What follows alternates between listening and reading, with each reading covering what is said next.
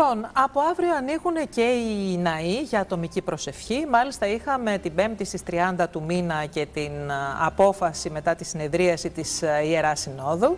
Η απόφαση αυτή με βαριά καρδιά αποδέχτηκε ε, το γεγονός ότι από Δευτέρα δεν θα έχουμε Θεία Λειτουργία και Θεία Κοινωνία ακόμη, αλλά μόνο ατομική προσευχή εξηγώντας και τους λόγους για τους οποίους με βαριά καρδιά έγινε αυτή η αποδοχή. Αλλά, εν πάση περιπτώσει, η Εκκλησία πειθάρχησε, όπως πειθάρχησε και όλο το τελευταίο χρονικό διάστημα, με κάποιες μικρές εξαιρέσεις. Εμείς θα συνδεθούμε και με έναν ιερό ναό, ο οποίος ετοιμάζεται να ανοίξει τις πύλες του από την Δευτέρα. Εκεί βρίσκεται ο Αρχιμανδρίτης Σεραφείμ Δημητρίου, στον ιερό ναό της Αγίας Μαρίνας Ηλίουπολη. Να το καλησπερίσουμε. Καλησπέρα σας. Χριστός Ανέστη. Αληθώς ο Κύριος. Ε, εσείς, ε, πανοσιολογιότατε, η αλήθεια είναι ότι είσαστε έτσι λίγο πιο αγωνιστικός και επαναστατικός και διάβασα ότι και καθ' όλη τη διάρκεια της ε, καραντίνας πηγαίνατε σε σπίτια πιστών, κρύβοντας το δισκοπότηρο κάτω από καλάθια με μήλα ε, και από κάτω από τον άρτο και πηγαίνατε στα σπίτια των πιστών και τους κοινωνούσατε. Βεβαίως, αυτό όχι γιατί έκανα κάτι παράνομο, δεν υπήρχε καμία κοινή υπουργική απόφαση που απογόρευε τη Θεία Κοινωνία, αλλά για να μην προκαλούμε συμπλεγματικά άτομα της γειτονιάς, είτε εξ ιδεολογικής αντιλήψεως, είτε εκ ψυχολογικών καταστάσεων, να ενημερώνουν άσκοπα την αστυνομία ότι τάχα και τάχα και τάχα γίνεται κάτι παράνομο.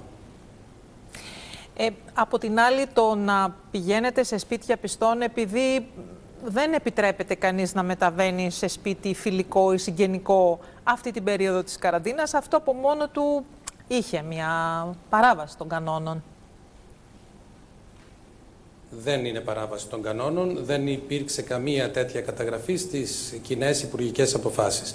Άλλωστε, ε, δεν έχουμε ε, δεδομένο το οποίο δεν θα μπορεί να στηριχθεί στην αρχή της αναλογικότητας του συντάγματος.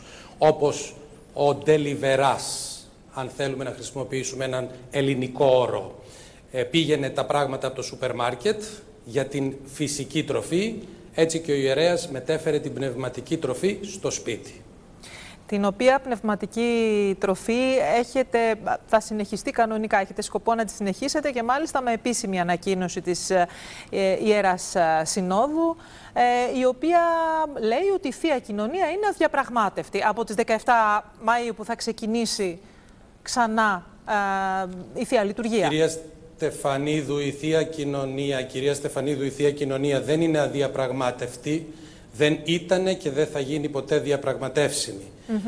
Εκείνο το οποίο προβληματίζει κάποιους ανθρώπους είναι το θαύμα της Θείας Ευχαριστίας. Ίσως οι επιστήμονες δεν μπορούν να αντιμετωπίσουν αυτήν την ιστορική πραγματικότητα 2.000 χρόνων, όπου μέσα από πανδημίες, επιδημίες, ασθένειες δεν έχει καταγραφεί καμία μετάδοση ιού, μικροβίου ή ασθενείας μέσα από το μυστήριο της Θείας Ευχαριστίας. Επειδή αυτό το θαύμα λοιπόν δεν ορίζεται στα όρια της λογικής, οι επιστήμονες στέκονται απέναντι και πολλές φορές ερίζουν στα όρια του παραλόγου.